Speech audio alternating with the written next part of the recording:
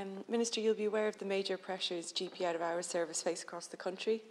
Southdoc, uh, the Cork and Kerry service is having issues recruiting staff, um, especially in rural areas. That's resulted in some of the services not running. Local GPs and their staff are already really overstretched and they can't be expected to provide the out of hours cover also. Um, what are you doing to address this issue?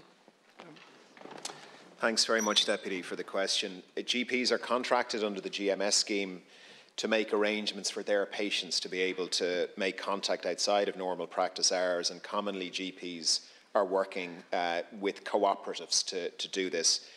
Southdoc is an excellent service, uh, provides a really important service to, to people in Kerry and in Cork. And I want to acknowledge the commitment of the nurses, the doctors, the other staff providing the urgent out of hours uh, care in Cork, in Kerry, and uh, those working with GP out of hours services through the, through the country.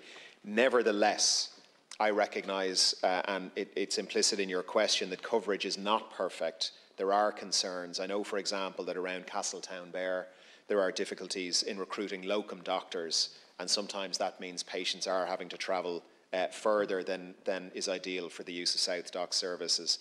I'm also aware of concerns about provision in Fermoy, uh, although I am assured that, that, uh, there, the, that, this, that there, there are no plans to change the service there. I think there are some local concerns that there's going to be a, a diminution, a diminution of the service. Southdoc, is, it is a private entity. It's got over 500 GPs and 26 treatment centres uh, and 19 vehicles. So, to, to the question, uh, Deputy, Southdoc really, it, it, as a private entity, it's up to Southdoc to hire in as many GPs as they can. But I do think there's more we can do. So, at the IMO conference in Killarney, uh, some of the doctors there involved in out of hours, they asked if I would convene a national forum for out of hours so that they could come together, share what's working, share what's not working. And certainly, as part of the strategic review, which we're kicking off now, out of hours will be part of that. Some parts of the country are receiving excellent service. Some parts of the country, they're finding it difficult to recruit.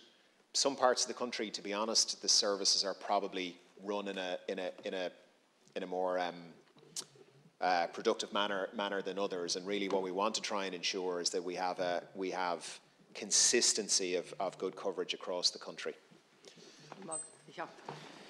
Thanks, Minister. And um, I acknowledge that about the forum. That's great. Um, I'm just wondering when, and I suppose I'm just not really feeling the sense of urgency from you in relation to it. And I think there just needs to be kind of a greater priority on recruiting and retaining doctors in these services, especially in rural areas like West Cork. Um, like you said, I previously raised the case of Castletownbere service with you, uh, which has been completely unavailable on multiple occasions.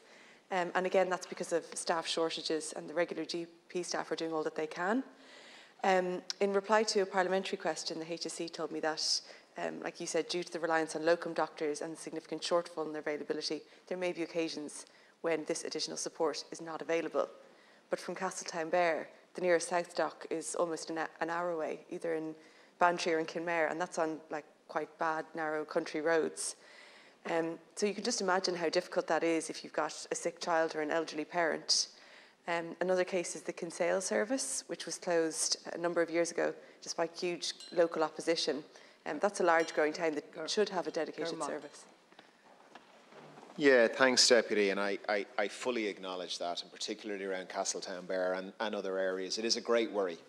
Um, for parents or for anybody really to think that it might be you know a, a long and difficult uh, drive uh, at night to, to, to, to, to just to get a GP. Um, it, it's not something we want to see. So there, there are several things we, we can do. There's several things we are doing um, which will take time but which will make a big difference. So for example, we're tripling the number of GPs in training. That's going to take time to result in the, the, the more GPs that we need, but it is going to result in a substantial increase in GPs. And so, really, the question for us is in the meantime, in the next kind of one, two, three years, four years, what can we do? We're working with the ICGP on international recruitment. They, for example, have uh, a project where they're bringing in GPs from South Africa and other countries. They're particularly targeting rural areas like uh, Castletownbere, like many of the areas in your own constituency. Uh, and there's more we can do, like bringing a, a, a bringing a forum together uh, and, and seeing what else can be done through the upcoming strategic review. Um, Thanks, Minister. I suppose just I think it just needs to be you know kind of more of a priority because it's really vital care and really needed by people not just in West Cork but in other rural areas I suppose as well. And I understand that those things can take time, but there's also I think kind of a lack of joined up thinking and utilisation of resources, and that can be frustrating for people in those areas. There's Southdoc services under pressure, and then at the same time, Bantry Hospital Medical Assessment Unit only opens from nine to half four. Um, extending the opening hours of this unit isn't only important in itself, but it will help relieve the stress on those Southdoc services. Um, the absence of those services in turn adds strain to the few ambulances operating in West Cork. Between Bantry, Skibbereen and Castletownbere, there's three, and then the three ordinarily operational. They might go somewhere else, and then they're gone somewhere else from there.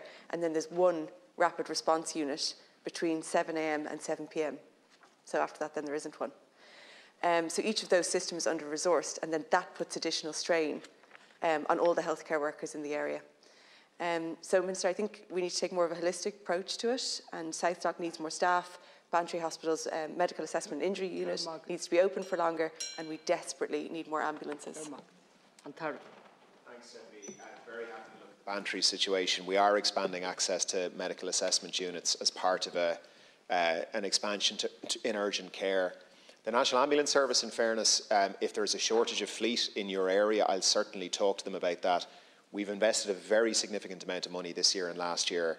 They're, they, they are expanding and modernising their fleet. They're hiring a lot more and training up a lot more paramedics and advanced paramedics.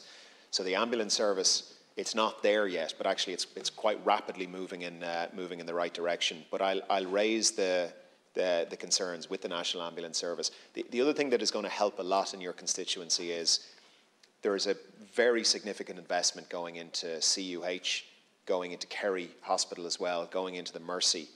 Um, and whilst they're not located in the rural areas, um, they, the, the, fact that there's, there's more capacity there is going to make a difference at a regional level as well in terms of the, the more localised services you referenced. But I'll certainly uh, raise the issues you, you, you have with the HSE. Thank you.